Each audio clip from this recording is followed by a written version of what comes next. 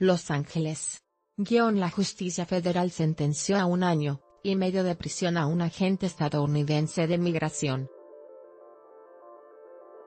Esto por ayudar a ciudadanos mexicanos con antecedentes criminales a reingresar a Estados Unidos. La jueza de distrito de Estados Unidos, Christina Snyder,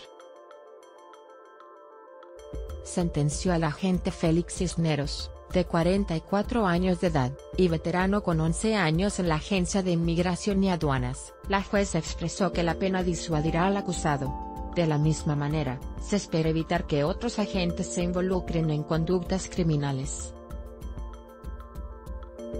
Cisneros, agente especial de investigaciones de seguridad nacional en el ICE, recibió cuatro delitos federales. Ayudaba a delinquir mexicano SGG era residente permanente legal en Estados Unidos.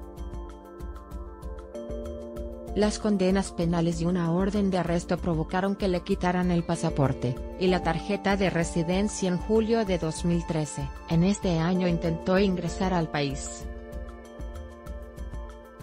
Sin embargo, Cisneros permitió su reingreso en septiembre de 2013.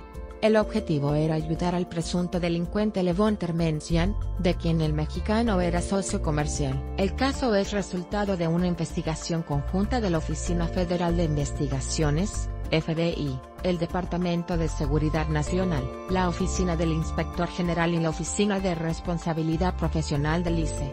Guión con información de Notimex.